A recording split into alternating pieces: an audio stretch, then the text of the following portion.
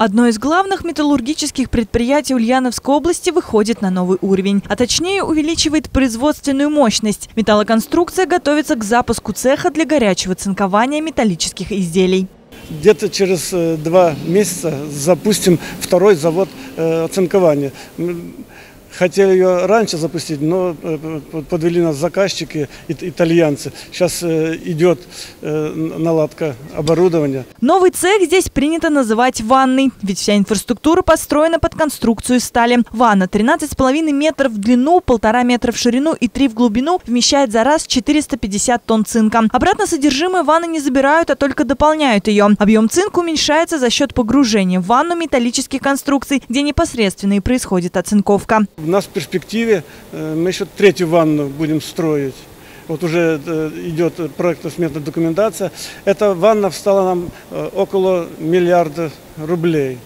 Вот. Но эта ванна отличается от предыдущей ванны тем, что это совершенно там новая технология, более прогрессивная вот более производительная. В планах у предприятия также доработать систему отходов, в частности, привести ее к замкнутому циклу. Сегодня на металлоконструкции трудится 639 человек. Новый цех откроет возможности для еще 60 рабочих. Мне здесь недалеко от дома.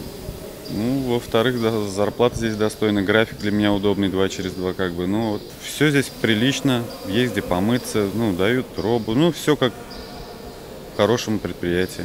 Накануне с новыми производственными площадями завода ознакомился губернатор Сергей Морозов. Когда мы стояли у истоков э, формирования программ развития Ульяновской области, в том числе промышленности, э, мы для себя определили э, пол людей, пол команд, пол предприятий, которые мы считали, что они могут быть вот этими локомотивами развития, образцовыми показателями, предприятиями, которые могли бы стать национальными чемпионами. Вот мы рассчитываем, что вот такие компании станут новыми локомотивами развития, которые будут генерировать новые проекты. С каждым годом предприятие наращивает объем экспорта, а продукция становится более конкурентоспособной. Так, за первое полугодие 2018 реализована продукция почти на 2 миллиарда рублей. Это на 8% больше, чем за аналогичный период прошлого года. А филиалы и представительства завода работают в странах СНГ и в Турции. Рената Алиулова, Юрий Ломатов. Новости Ульяновской правды.